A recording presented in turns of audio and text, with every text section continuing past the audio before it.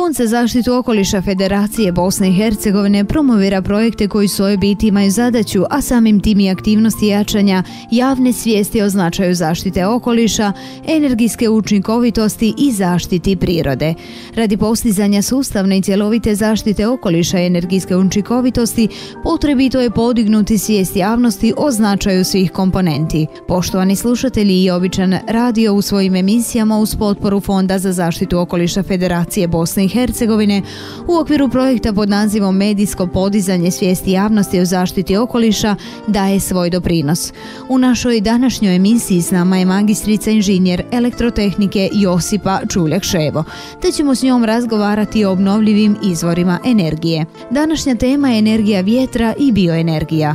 Gospođo Ševo, dobar dan i dobrodošli na Običan radio.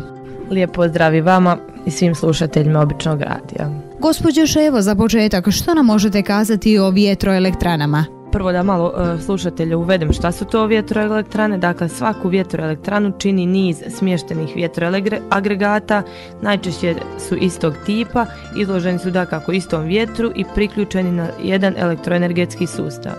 Glavni dio je dakle vjetroagregat koji zapravo čini glavnu funkciju pretvorbe kinetičke energije vjetra, prvo dakle u mehaničku energiju, a zatim i u električnu.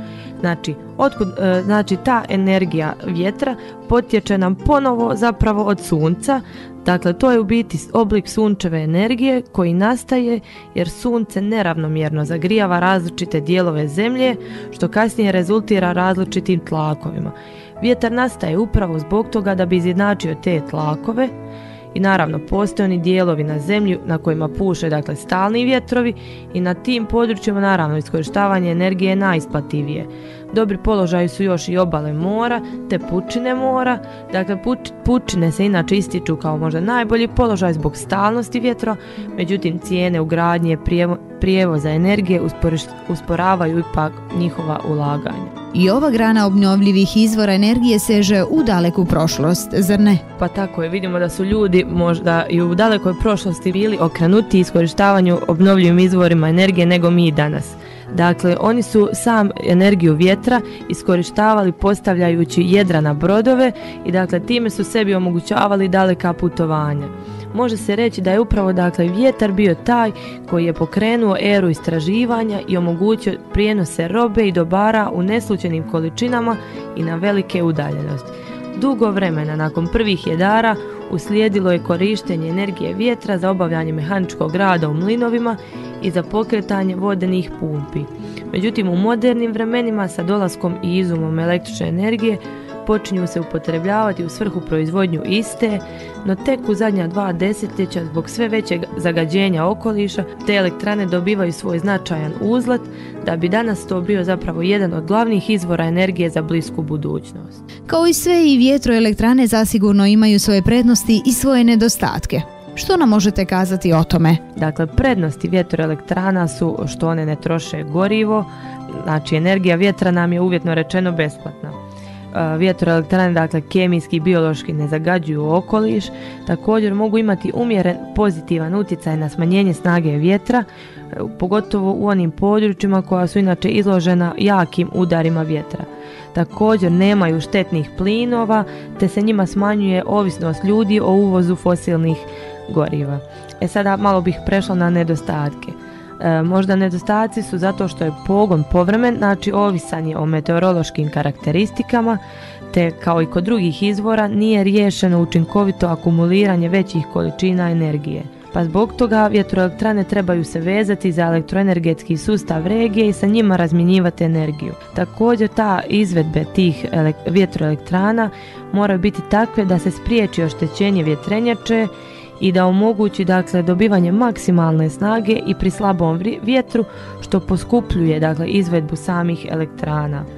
Možda ne tako važan nedostatak je što je prisutno estetsko zagađenje dakle područja u kojima se postave ove vjetroelektrane što međutim ipak nema većeg značaja ako se takva vjetroelektrana ugradi na nekim nenapučenim prostorima. U nastavku možemo nešto kazati i o biomasi za bioenergiju. Htjela bih upoznati slušatelje što spada pod tu biomasu i o načinima iskorištavanja. Danas možda sve više se prepoznaje mogućnost korištenja biomase i ostalih obnovljivih izvora. Korištenjem dakle biomase dobiva se bioenergija koja se potom može iskoristiti kao toplinska energija u obliku biogoriva ili se može iskoristiti za proizvodnju električne energije.